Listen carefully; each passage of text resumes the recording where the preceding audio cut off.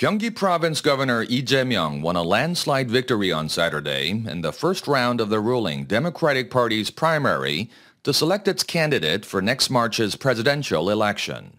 He earned 54.81% of the votes in the primary held among registered DP members of the Daejeon South Chungcheong Province region at the Daejeon Convention Center.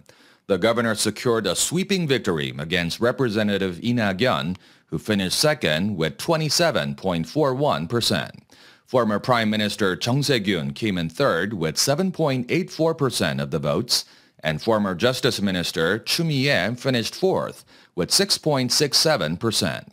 The party plans to hold the following rounds of the primary in other regions, with the final round set for October 10th in Seoul turn white.